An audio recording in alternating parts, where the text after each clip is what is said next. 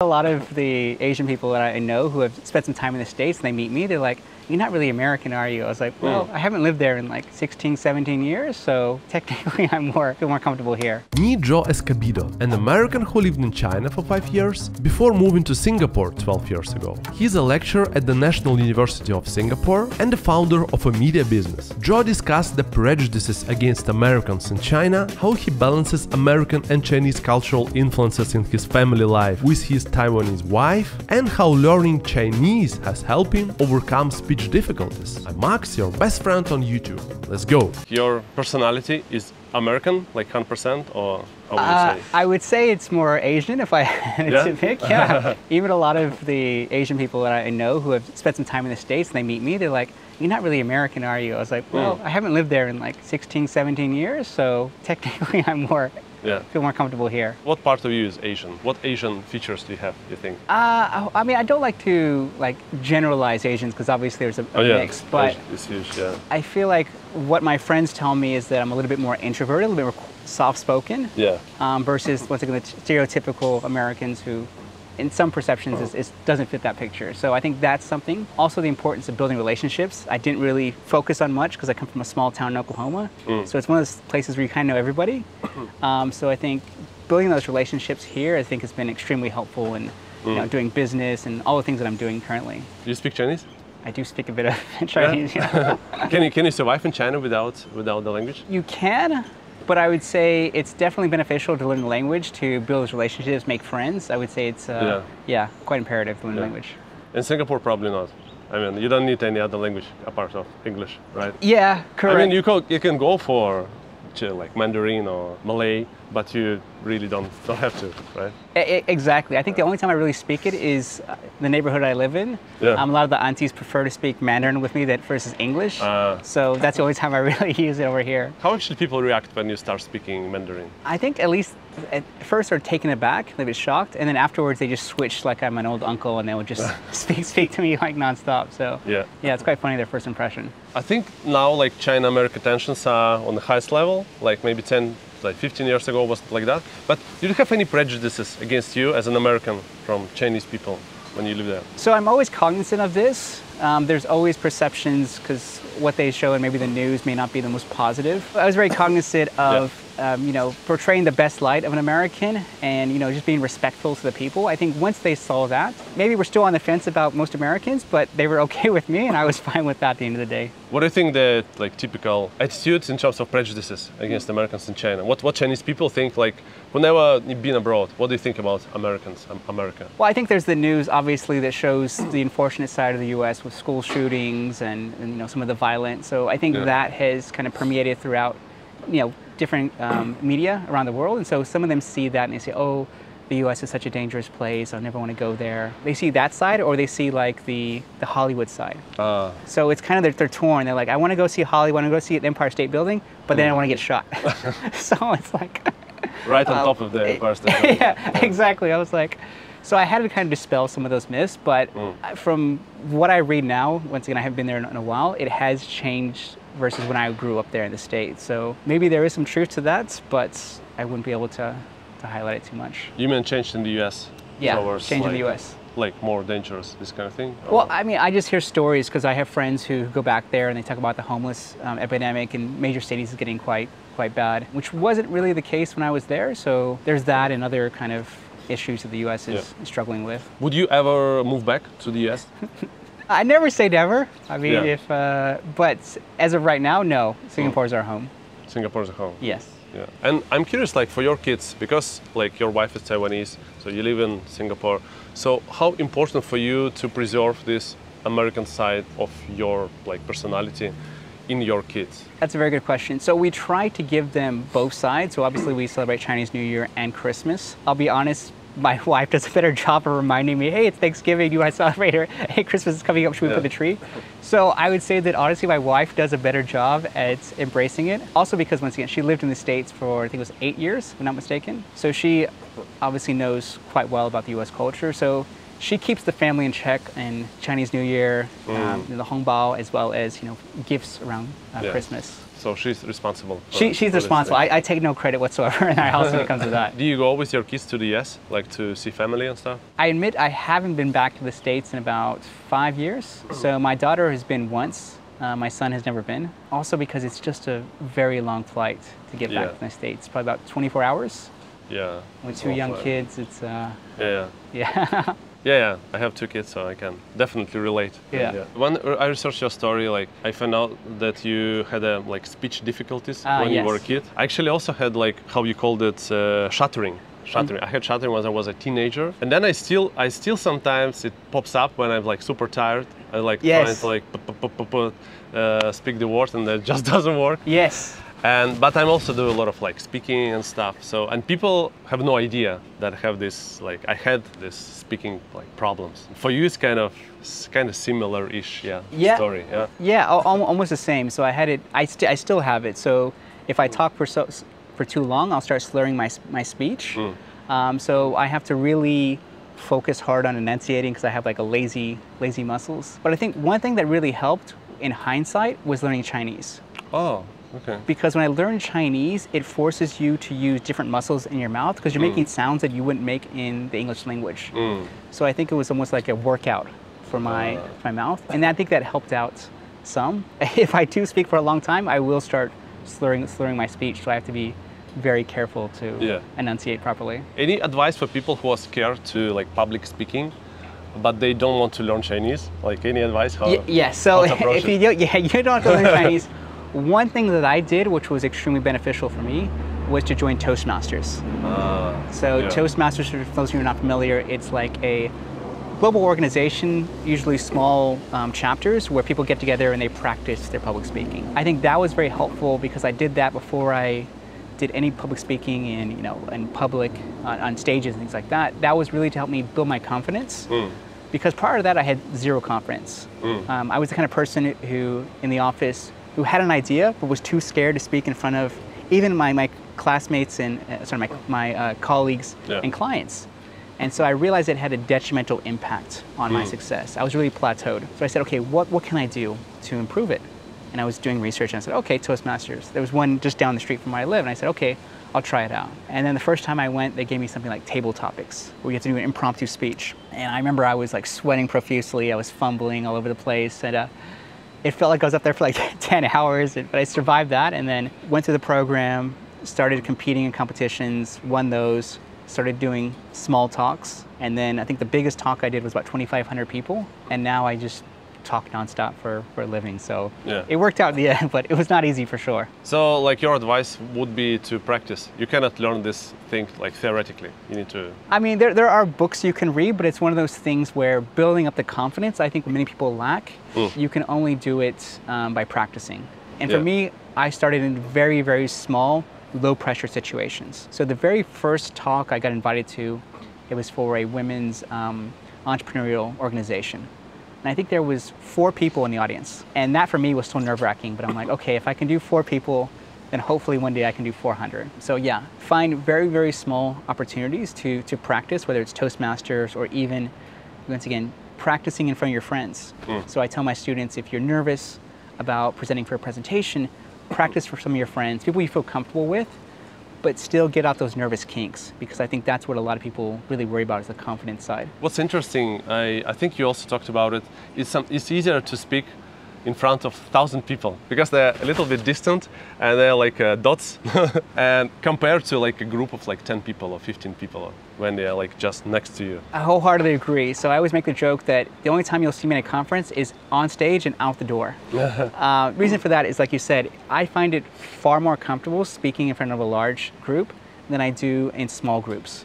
Even to this day, I still get a lot of anxiety because I don't know what to say. I'm not very good at small talk and, and things like that. Although I run a podcast and I do this for a living, when you're thrown in a situation where it's a little bit uncomfortable, you're meeting people you don't know, it's an environment you're not used to, Yeah. um, I still find that nerve wracking to this day, and I've been doing I don't know how many talks. So yeah, it still it still happens. one of the worst moments in my speaking career. I wouldn't call it speaking career, but my public speaking. I led this uh, like training about like business communication like 10 years ago, and there was a group of like I think 12 people, so already quite small group. And then at the break, the first break after two hours, two people come to me and just give me the piece of paper. I was like, what, what's that? And I roll it out and I see it says like, we want to leave, we don't like it. And so, and they didn't, they didn't say it out loud, but it was like, oh, yeah, the energy goes down. I'm like, yeah, yeah, sure, okay. And then just 10 people, even even less. I think it was 11, and then end up with nine people. But it was like super hard to, you know, to get this like we don't like it. Yeah, we'll go. I remember like uh, coming home, like being like drained, no energy at all. But that's what it is. I think it's no like perfect way to start speaking without this kind of situations. I think, I mean, I, I've definitely faced that. I mean, no one's written to me, or else I would have been crying on the way home. But um, you know, there's there's times where you do a talk and you see people leaving halfway through, like checking their phone. They're like, "All right, I'm getting getting out of here." Um, so that has happened. But I think one thing you kind of have to tell yourself is there's going to be rejection. Even what you're doing now, even though you've been speaking for this many years, there's going to be some people that love what you do, love your style, and there's some people who are not going to be a fan. It Doesn't matter what you do, no matter how many times you practice, how many how much engaging you think it is, there are just some people who will just not, it will not click with them. So I think that something I'm trying to remind, trying to remind myself with because I will occasionally get those comments, very rarely, but I will get those mm. comments. And it's like, oh gosh, like you put your heart and soul into it, but mm. at the end of the day, there's just some people who will not like you no matter what you do. It's, you actually have like a few good points about rejections, yeah. And you actually, you, you I remember you gave examples of like in your career how actually rejections led to something bigger, yeah, later in your life. Oh yeah, so I've been rejected for most of my career. I think it started when I was uh, in uni- university. My international business coach, my business professor said, "Oh, you don't know anything about international business." And I was like, "Okay, well, I'll move to China in a couple years. We'll, we'll see about that." And then this was a couple years back. I was working for a media company, and they rejected a lot of my ideas and kind of the formats that I wanted to try out with, which was more video podcast related. This was before the big boom. And I said, "Okay, fine. Well, if you you know, don't want me doing it, I'll just do it my own. And that's when I started my media company. So I take those rejections as almost motivations. When someone tells me, "Oh, you can't do this," I'll say, "Okay, well, we'll see in you know six months or a year whether or not you're correct." So that's kind of, in a weird way, what fuels me Yeah. uh, is the rejection. And yeah, I've been rejected so many times. People told me, "Oh, you can't do this, you can't do that, you'll never make it in this career, you never make it in that." So after a while, you just get used to it and say, "Okay, well, let me try it out." yeah. What's the principles of personal branding? Like, let's say three main principles. I think the most important one is to be basically what you're doing. Be interested in other people. You know that Dale Carnegie quote about you know it takes two was it two years for get to get someone interested in you. Um, it takes maybe two minutes or two months for you to become interested in them. I think I'm, I'm butchering the quote, but it's essentially talking about the importance of being interested in other people because when you do that, other people are interested in you. And I think I learned that when I was a journalist. People I, I interviewed tended to like me because I barely spoke. I mm. just asked them a lot about themselves. Mm. And so they got to open up, they felt more comfortable with me. And that turned into some of the best relationships I had post afterwards. And it worked out great for me as an introvert because I don't like talking anyways, although I'm talking now. and then I did the same thing with the podcast where I said, okay, I'm not the hero of each episode. Mm. Each of the guests are. I'm just someone facilitating it or asking questions. Everyone else that comes in the show, they are the real star. And I'm going to make it that way, where I'm going to highlight them in the imagery. I'm going to make you know them talk 90% of the time, and we're really going to pull out their key insights and make them look good. So I think by taking that approach, it's you know helped me build some extremely positive relationships because it goes back to I use the analogy of debits and credits in mm. banking. Um, a lot of people, when they do personal branding or relationship building in general, they tend to take, right? They say, okay, Yeah. uh, can you give me a job? Can you introduce this person? Can you blah, blah, blah, blah, without actually adding any value to that relationship. Because most of the time, everyone in the world will be thinking about themselves 99.9% of the time. So you really have to pause and say, okay, what additional value, how can I make this other person's life better? So whether you do that in person, through a coffee, um, through a networking event, or even the content you put out. So the number one question I tell all my students, and they tell me to this day is the number one best advice I've ever given them, is very simple question: What's in it for them? Meaning, what's in it for your target audience? If your content is that kind of self-promotional, hey, look what I did, how great I am, et cetera, et cetera, it's not adding any value to the people who are consuming it. give you an example. A buddy of mine reached out to me a few months back, and he's also in terms of teaching. He says, hey, why aren't my posts getting a lot of traction? And I just had a quick look at it and I said, okay, well, you basically told everybody that you did this talk. What's in it for them? And he was like, oh, yeah, you're right. And I said, what should I do differently? And once again, there's no wrong or right way, but I shared my approach. So every time I do a talk or a workshop or something in the public, I will probably take a photo and share it on LinkedIn. Mm. But most importantly, I will add at least three key takeaways or three key tips that I've learned. Mm.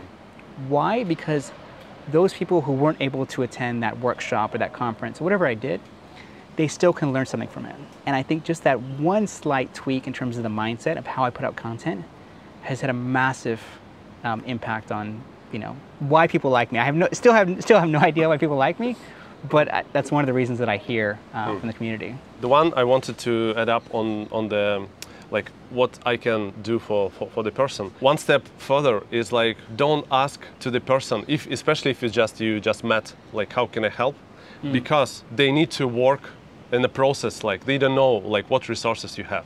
So it's kind of on your side. You kind of need to figure out what resources you have and how it can be connected to the problems or like goals of the person. So it, it's not like how can I help? I don't know, dude. Yeah, thanks for asking, but yeah, maybe I, I tell you later. Yeah. But it doesn't work this way. So it's kind of it's on if you really genuinely want to help, and then you want to build relationship, and maybe you want something out of these relationships later. You need to like figure out how what you can do for the person. Yeah. Right. I, I, I completely agree. so it goes back to being interested in their people and their person.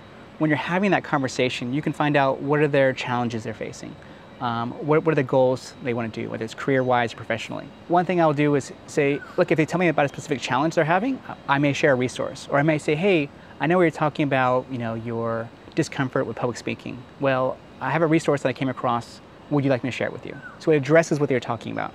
Or, hey, um, when we were speaking, you, you, mentioned you want to do more public speaking. I, I, know a couple event organizers. Would you like me to introduce you to them? So it always is, like you said, a follow up of what they mentioned in the conversation. So you are being proactive. Because to your point, when you leave it wide open, you say, hey, what can you do for me? You're putting work on the other person. Correct? You're like thinking, okay, well, now I have to think about how you can do for me, and I have to like, yeah. I don't want to do that. Mm-hmm. So going back to if you're interested in other people and you ask the right questions, you can find out what their challenges and ambitions are. And then if you have resources or you have connections you can refer them to, that's the best way. Do you have any regrets in life? I've had a lot of failures. I think more than anyone that I know. But if you ask me if I have any regrets whatsoever, to this day, no. Because I, I try to live every day like it's my last. And that's because there's many times where I've, I've had many near-death experiences throughout my life. And so I just say, okay, well, you know, if today's your last day on Earth, what are you going to do? Mm. So I'm going to speak with Max, and we're going to have a fun conversation out in the, you know, the park here. That's what I want to do, and that's how I live every day of my life. I guess it makes you more happy if you kind of try to explore life and live as the last day in your life. Yeah, is it like what makes you happy? I think. Uh, I think it makes me appreciate things more. Mm. Um, it makes me focus on things I want to be doing. Because the older I get, you know, with the gray hair coming in, I realize that I don't have forever on this earth. So what can I do that's going to make an impact for the next generation? Which is partially one of the reasons that I started teaching, is I said, okay, I've learned a decent amount, I failed a lot, I can take that all to the grave, or I can share that with the next generation. And that's kind of what I've been doing, is sharing life lessons, things that have worked, things that have don't worked. And that's my way of hopefully giving back before I, I do pass. Maybe it's tomorrow, maybe it's, I don't know, next week, who knows. But that's the impact I want to try to make before I, I leave this world. Why it's important to you if you leave this world? Like why, why it's important to leave this impact? I just think about the people that impacted me when I, early in my career, whether it's a former boss or a grandparent, and the wisdom that they gave me at that time, I think completely changed who I am and the mm. way I mm. think. And if I wouldn't have had them in my life, I think my life would have been much more different, uh, probably more difficult. I really appreciate those who came before me and provided guidance and, and you know, guided me a little bit. So I'm just trying to pay it forward. I'm just trying to pay back what those who gave me for the next generation. Mm. You know, my grandma used to say, if you watched just one YouTube video, you're already a good person. But if you watch a second one straight away, you're incredible person. So do it right now. Don't upset my grandma.